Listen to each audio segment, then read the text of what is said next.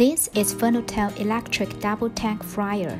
Use three-phase, 380 volt power source, large capacity, big power, fast efficiency. Double stainless steel basket, firm and durable, can fry different food in one time. Stainless steel cover has good protection effect.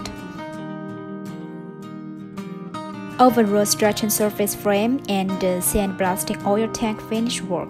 Stainless steel fry body meet food hygiene standard. The oil tank is equipped with slack net, oil level lines, with thermostat and temperature limiter to make sure food's flavor. Strong magnetic door, oil outlet pipe, large cabinet capacity for storage. Must connect the oil outlet pipe when draining oil. The imported oil valve has strong air tightness, very durable.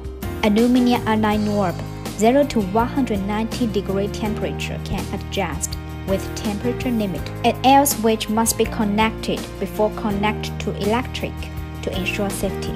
Follow the wire diagram on the machine to connect the electricity. Explosion-proof plug should be installed at the wiring terminal. A professional technician is required. After connecting the terminal, plug it into the socket. Check it is not loose. Turn on the air switch. The machine has electricity. The green light on.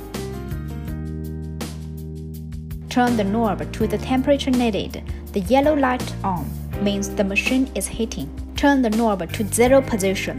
The yellow light off. Machine stop heating then turn off the air switch.